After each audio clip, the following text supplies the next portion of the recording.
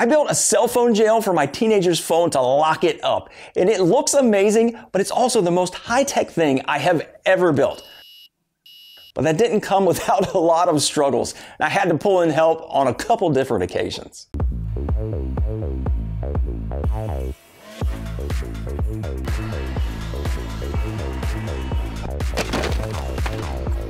This walnut is really old. It's been sitting in a barn for like 50 or 60 years, and I got it off of Craigslist a few years back. A lot of it is pretty nasty and it's got a lot of sapwood to it, but the color is absolutely amazing. I think it's gonna be perfect for this project.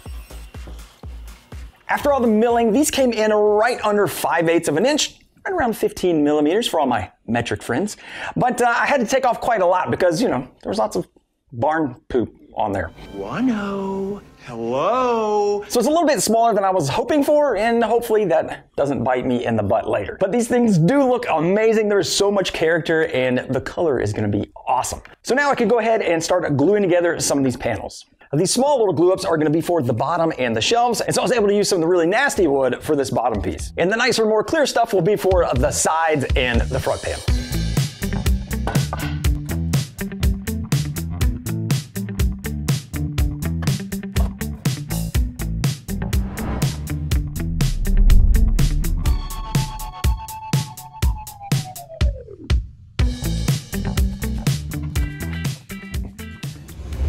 The panels turned out great, and I just knocked down the seam with a little card scraper, and oh, that is satisfying. You might be thinking, hey Brad, I didn't see you glue up that second long panel. And you'd be right, because this is the shape for the side, and because it's angled, I thought, oh, I could just turn it around and fit two just like that. And that was all great until I realized that that would give me two left sides and not a right side. And the back of this is kind of nasty and I didn't want to use it, so I had to glue up another panel. You know, I like to kind of get my mistakes out of the way earlier so I can really pump up that mistakes were made count. But it's all right, it happens to the best of us. So right now I'm gonna go start cutting these out of these two panels.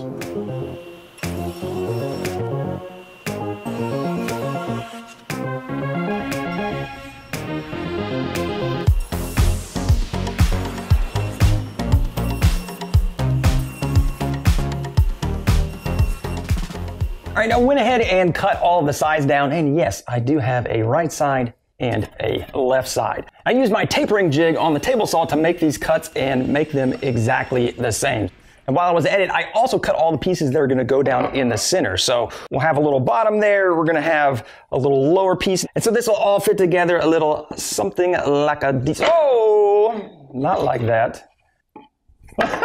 or like that.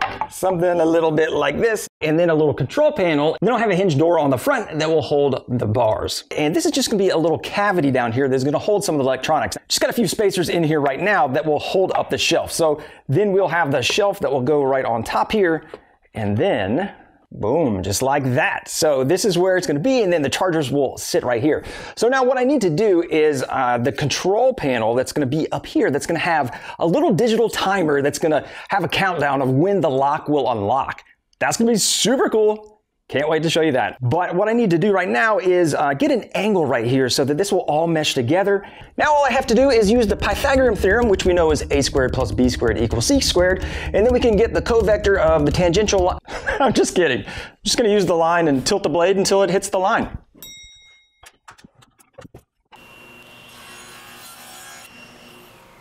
Oh, the joys of working with nasty old barnwood. Uh, after I made that cut, here's what I found. That is a bark inclusion, and that would be right at the very top and probably the most conspicuous part of the entire project. So I think we need some help. Norm, what do I do, man? If you could send some of your practical wisdom through this picture into my workshop, I would appreciate it. Tell me what I should do. Help me, Norm! Brad just cut a new one. Thank you. Before I start joining this together, I need to prepare this little bottom shelf for the electronic lock. So this is a little solenoid lock, and this is just a little baby thing. it looked a lot bigger on the screen. I'm hoping this is gonna work. Some of the reviews were talking about it was not very strong. But I need it to be sitting under this bottom shelf with just a little uh, latch piece up above. So I'm gonna lay out for it and cut out a little square so that I can put it in there. All right, I went at this thing with the chisel, and uh, I am maybe the world's second worst chiseler. Um, I don't know who the worst is, but it's not me. But this is fitting in here real nice now. So that'll work great when I go to install it. And now I know where the floating tenons can go to make sure they don't get in the way.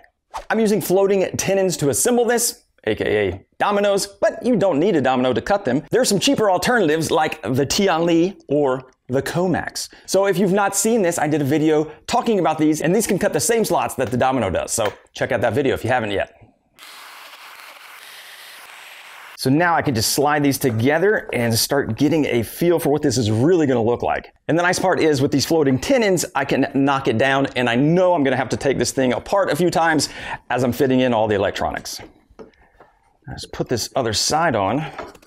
Oh, yeah. This thing is looking awesome. Oh man, I love this. So now that I have this in place, I can fit for the door because I want to get this all assembled and make sure that I get the door sized exactly right. But before I do that, I want to show you guys how the lock works and start getting into some of the electronics. Here is the base of the whole locking system that I'm starting with and basically my whole goal is to turn on and off this little solenoid and you can do that really easy or you can make it really hard and have other things happen too. But right now, I'm going to be driving that off of a little Arduino Nano, and that is a small microcontroller, which is basically just a little tiny computer that runs code. It looks for inputs and then does outputs. So it says, you do this, I'll do that. So I just put a little bit of code on here now to say that when I push this button, send the electrical signal to this relay, which will then power up the solenoid. So if I push the button, it opens for one second. That's just fun to do. So you could leave it at that and just have one button and be able to push it and have it open. But because we want to add in a lot more things and have a timer and also have some LEDs and have it do all kinds of fun stuff, we need to have the microcontroller. Now an automated lock isn't going to do me any good unless I have a door to put it on. So I'm going to build that next.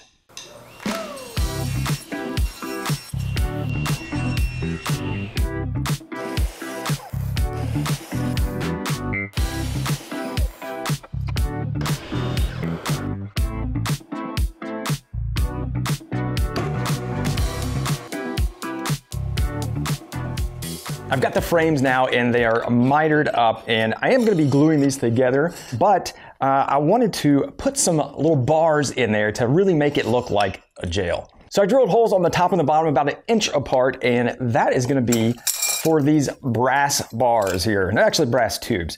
But uh, I think this is going to look really cool. Let's see here. Let's see if this will work out. Then these are too tall at the moment. I have to cut them to size. Oh. oh, that looks good. Oh, that's perfect. I was hoping they'd be narrow enough that uh, you can't quite fit your fingers through there. That is so cool. I swear, Dad, I wasn't on the cell phone. I feel like the bars are a little yellow, so I went ahead and hit one with uh, bar helper, bar barkeeper's helper, bar helper, barkeeper's barkeeper helper. I polished it and got rid of all the, the junk and the oxidation off it. So I'm gonna hit the rest of them, cut them to size, and then get them in here. And then what I need to do is put in the little hinge that's gonna be on top. So there's gonna be a hidden hinge on the top and then the underside of the little control panel. And then after I get that, then I can put the latch on the bottom for the lock.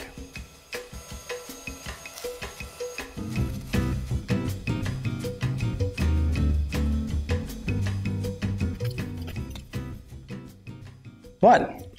You've never seen a man polish his brass tubes before? Before I put the door together, I'm gonna put the hinges in. I'm using these little concealed hinges. These are really cool and I think it's gonna be a neat look on there. So I did a little practice cut on this little test piece here and it fits pretty good. Good enough where I think I can go ahead and attack these and get them cut and then I can start assembling everything and uh, yeah, hopefully this looks great. I don't know how this is actually gonna work, so we'll find out.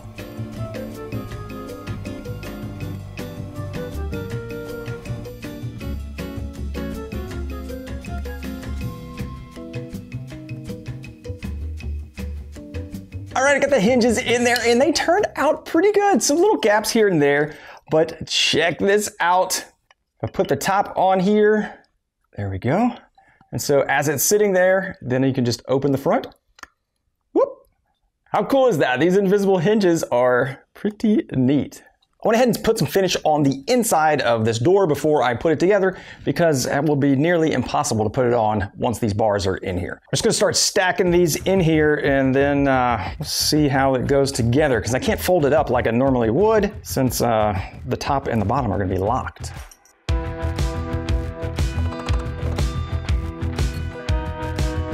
Just a touch more. All right, I think that will do it. Let's get some glue. All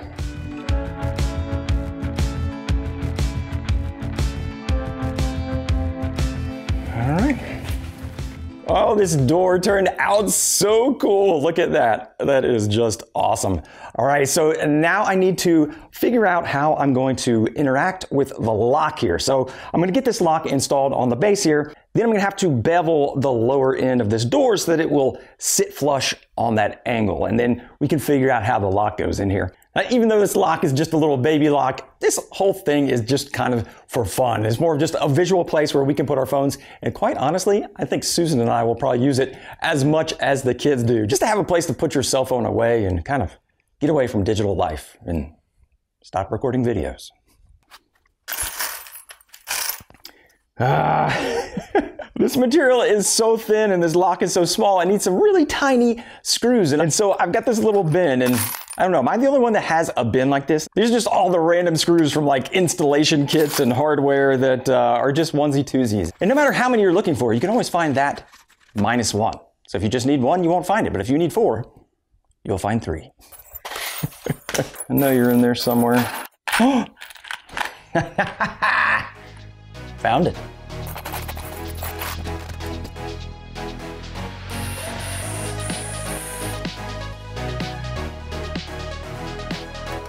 All right, it's put back together. Now this is the moment of truth. I did install the hinges and now I can put them in here and we'll see what the fit is like. All right, I made this a really tight fit, so I'm hoping it doesn't scrape. Let's see how it works. Well, it fits side to side. It's not racked. And I can just bevel the underside of that to get it to lay flush. All right, after a few cuts, a little bit of rubbing on the sides. You can sand that down, but that is looking awesome. Check this out. Jail cell. okay, as I try to figure out this lock, I'm realizing this is playing out very differently than I thought. I had this little piece here that I was going to attach. This is clearly way too big, and you know, that's just gonna hit right back in there. Uh, I don't know if I can modify this. I'm kind of thinking I'm just gonna maybe make a little latch out of wood. I wanna put some things together and uh, see what we can figure out. All right, if my bench is any indication, I have been hard at work at this, and this is what I came up with, which is uh, just a little wooden lock that's going to go on the back of this, and I'm going to drill it in. Um, and I probably used like seven or eight tools just to make this. And I know a wooden latch is not the best, so I can always put a little piece of metal in here if it starts wearing out. Let me see if this latches in. Now this does need to be tightened a little bit, but the lock is working. I've got a little fix on that latch that is drying right now, but I want to show you guys what I've been doing with the electronics. it has gotten a little out of control here.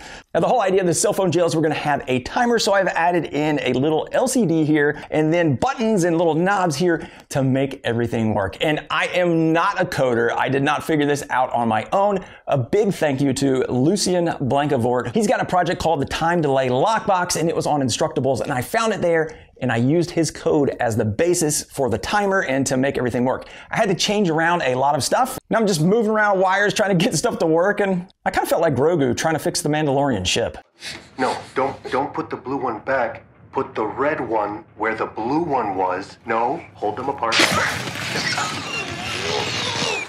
But I've been working on this behind the scenes and I have put in at least 40 hours worth of work into the coding and the arrangement and everything. Right, so let me show you how it works. If I push the set button right here, it says set, and then I can spin this little rotary knob here, and it will count up. And then to arm it, I can push this next little button. It's gonna flash for a second, and then the countdown is going to start. And then you can't unlock that until the countdown is done. So if I try to unlock that, nothing happens. But if I wait until it's done and I push that, it will unlock. But now got to take this big jumbled pile of wires and make it look nice. So I'm going to put the LCD and all the buttons up here on the control panel, get that all in and figure out how to get everything wired inside there. Plus, I'm going to add a few more bells and whistles to really make this thing awesome. I know I'm a perfectionist, so doing something like designing the front of a control panel is something that I will spend hours and hours and hours on. From designing on the software program to doing the CNC cutouts and tests, and then going over to the laser for the engraving and making sure that the font is right and the size and all that. But I am extremely happy how this ended up turning out. I've got all the holes cut in here, ready for all the different buttons, and you'll see what all these little things mean in just a little bit. I also had the CNC out the back here to fit all the controls and things because of the thickness of the wood. But I tell you what, this is looking great, and now I'm ready to assemble. Used a ton of different tools, hardware, and supplies to make this project, and I got a lot of those at Woodcraft, who's the sponsor of today's video. They are a woodworking supply and hardware store. They have everything from the tools that I use to make all my cuts and joinery to the hardware like the invisible hinges and the finishing supplies to make it all look amazing. They have over 70 stores around the US that you can go check out, but if you don't have one near you, you can go to woodcraft.com and pick up anything you need there. So for your next woodworking project, go check out Woodcraft, and thank you to Woodcraft for being an awesome sponsor of the channel. Oh, how can I glue up this small? It'd be so stressful. All right, we're all sanded up, and now I'm gonna apply some oil-based finish, and it's really gonna make this walnut pop. All right, the finish on this turned out absolutely amazing. It is looking great. I got the door reinstalled. I also cut a little panel in here, and this is going to go uh, right in front here. And then the phone charger will be sitting here, and then all the electronics are gonna be in the back. But now I've got this big jumbo mess of wires, so I can start filling everything in the control panel, and then I'll show you all the little goodies that I added to it. Now the challenge is gonna be rewiring this because these are all really short wires and I'm gonna need some longer wires. I'm still gonna keep this on breadboard, which is fairly temporary, and I'm gonna convert it to a smaller one though, because a lot of these things that are in the board down here are gonna be going up into the console, so it should shrink everything. But I've only done this one or two times before, so I'm just gonna get going and we'll see what happens.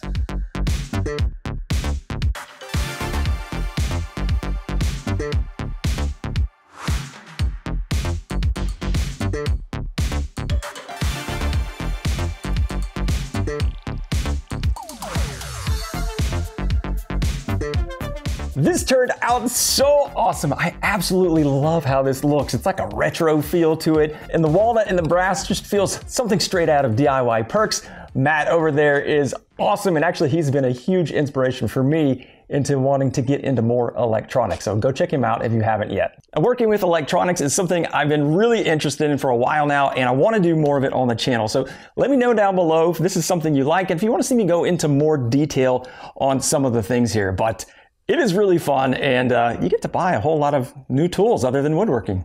Everything's ready to be transferred over, and I'll just hook it up. We'll take it for a run.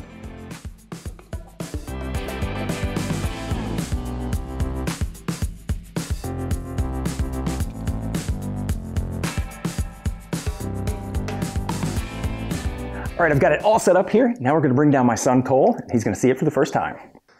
Turn around right here. Check out my latest project. What?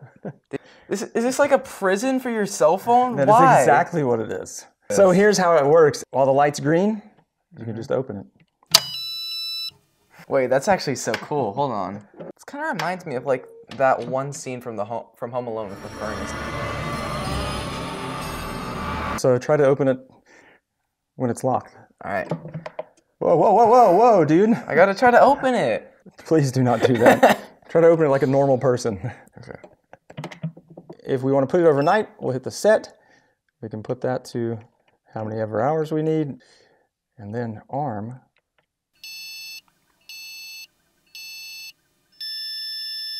It's the Mario Kart intro, dude. Oh!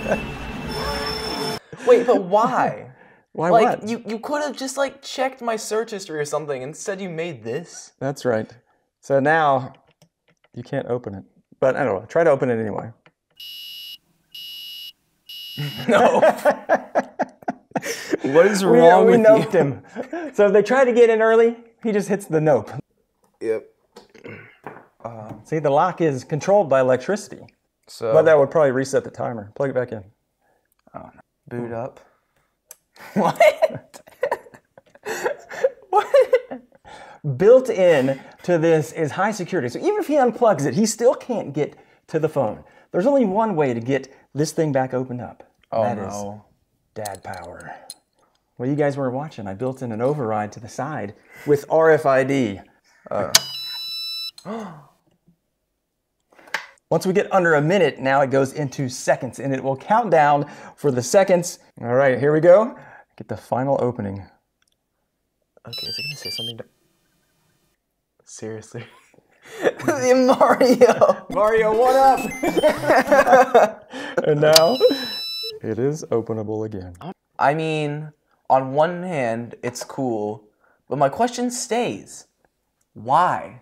If you want to see more videos that make your kids say why, oh there's a playlist oh right over my son's face. What?